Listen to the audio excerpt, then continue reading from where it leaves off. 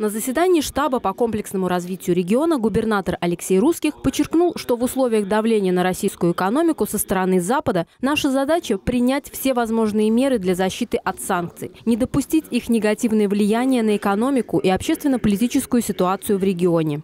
По моему поручению организована работа 11 штабов по ключевым направлениям жизнедеятельности. Первые заседания состоялись на прошлой неделе и в эти выходные. Глава региона обратился к ульяновцам с просьбой не скупать продукты впрок и не поддаваться на провокации. По словам главы региона, в Ульяновской области сформирован достаточный запас продуктов питания. Официально заявляю, дефицита продуктов в регионе нет. Запасов продовольствия у нас предостаточно. Эту ситуацию мы отслеживаем ежедневно. речь прежде всего о сахаре, соли и крупах, которые попали, пропали с полок в некоторых магазинах. Это искусственно созданный ажиотаж, подогреваемый определенными интересантами. Обращаюсь к нашим жителям. Пожалуйста, не поддавайтесь панике. Не надо скупать продукты на годы вперед. От информации по рынку продуктов питания перешли к рынку труда. По словам руководителя Агентства по развитию человеческого потенциала и трудовых ресурсов Егора Иванова, в регионе официально заявлено более 11 тысяч вакансий. Вместе с тем безработных зарегистрировано чуть более 3 тысяч человек. На одного работника приходится около трех вакансий, поэтому напряженность на рынке труда в регионе отсутствует.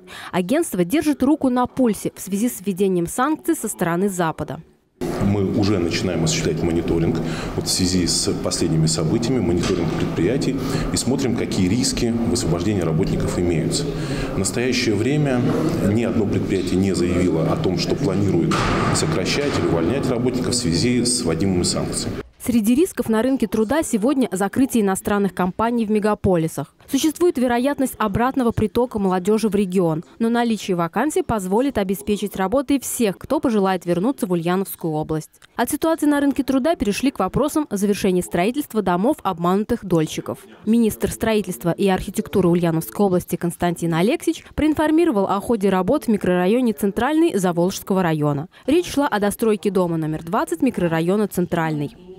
Могу сказать, что было проведено не одно, а порядка трех встреч с различными инвесторами под э, руководством Игоря Олеговича. И на сегодняшний день, в принципе, э, есть возможность за счет инвесторов достроить объем, в полном объеме дом и сдать э, ко второму кварталу следующего года, то есть с отделкой. Но на сегодняшний день у нас в планах стоит пока что 2022 год.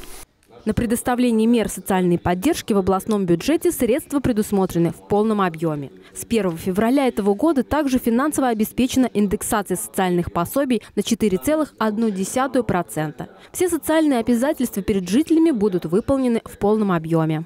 В нашем регионе действует целый комплекс мер, направленных на поддержку граждан. Это материальное благосостояние которых может укущиться в связи с введением в том числе и санкций. Таким гражданам по мере их обращения могут быть представлены такие меры поддержки, как государственная социальная помощь в денежной форме на основании социального контракта или в натуральной форме с использованием продовольственной карты. Э, также это субсидии, компенсации на оплату жилищно-коммунальных услуг и адресная материальная помощь э, гражданам, которые оказались в трудной жизненной ситуации. На штабе также обсудили обращения жителей, собранные Центром управления регионом в соцсетях, реализацию программы подготовки специалистов для авиастроительной отрасли и плановые работы по завершению отопительного сезона 2022. Валентина Никонова, Александр Кудряшов, Улправда ТВ.